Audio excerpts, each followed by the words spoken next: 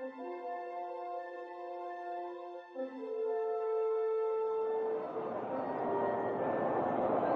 and two to Harvey Keene. One strike away.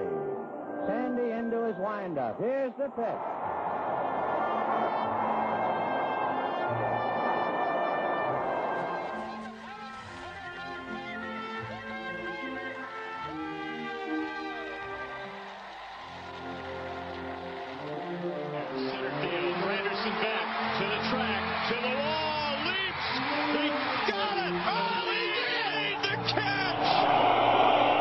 A swing and a ground ball toward first,